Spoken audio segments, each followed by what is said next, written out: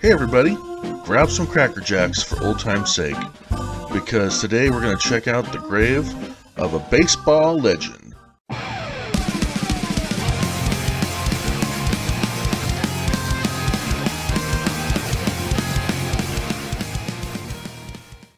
I'm here in Colma, California at Cypress Lawn Funeral Home and Memorial Park to see Francis Joseph O'Doul, otherwise known as Lefty O'Doul.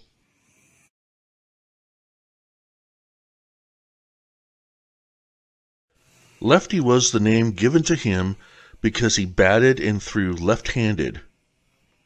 Lefty O'Doul played with many baseball teams, such as the New York Yankees from 1919 through 1922, the Boston Red Sox 1923, the New York Giants 1928, the Philadelphia Phillies 1929 to 1930, the Brooklyn Dodgers 1931 through 1933.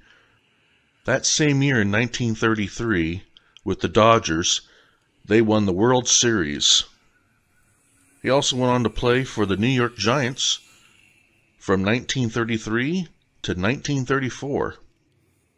With Lefty O'Doul being a huge part of baseball, he's sadly still not in the American Baseball Hall of Fame. However, he is in the Japanese Baseball Hall of Fame. After all, he did introduce baseball to Japan. The Tokyo Giants have been around since 1936 and still active today. Well, here's some interesting things about Lefty O'Doul. He was really good friends with Joe DiMaggio.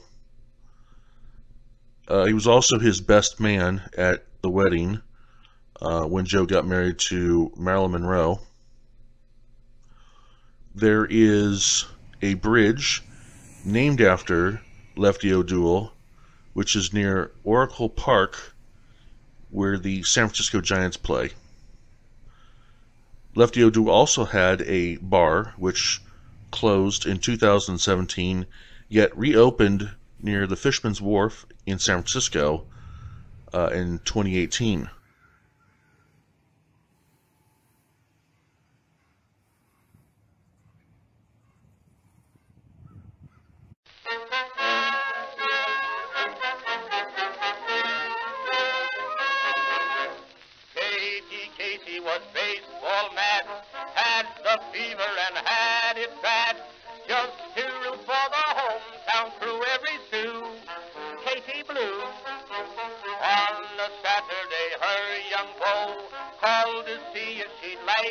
go to see a show, but Miss Kate said no. I'll tell you what you can do.